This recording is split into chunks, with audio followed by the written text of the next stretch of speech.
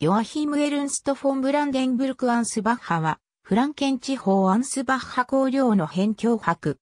ブランデンブルク選定校、ヨハン・ゲオルクのムツオ。ブランデンブルク選定校、ヨアヒム・フリードリヒのイボテ、バイロイト辺境博クリスティアンの同母テー。ヨアヒム・エルンストは、ブランデンブルク選定校、ヨハン・ゲオルクと、その3番目の妻エリザベト・フォン・アンハルトとの間に、生まれた息子である。1603年、東園のゲオルク・フリードリヒが亡くなったことで、フランケン系ホーエンツォレルン家の古い家系である、アンスバッハイエーゲルンドルフ家が断絶したため、ブランデンブルク・アンスバッハ辺境博を継承した。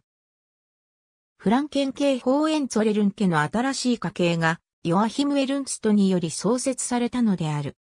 ヨアヒム・エルンストが、ゲオルク・フリードリヒの医療の一部を継承することは、1598年のゲラーエア家内法ですでに定められていた。この規定に従って、ヨアヒム・エルンストは、ブランデンブルク・アンスバッハ辺境伯領を継承し、アニ・クリスティアンが、ブランデンブルク・クルムバッハ辺境伯領を得た。プロテスタント同盟の連盟書17世紀初めの宗教対立で、ヨアヒム・エルンストは、プロテスタントカルバン派に属し、80年戦争を支援した。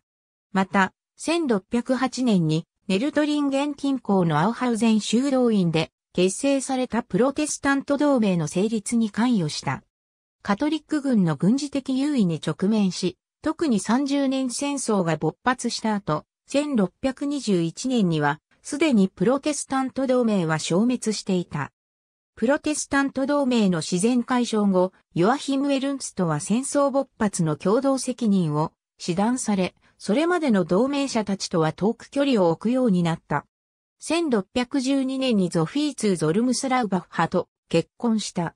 彼らの子供は以下の通り。これらの文献はドイツ語版の参考文献として挙げられていたものであり、日本語版作成に際して直接参照してはおりません。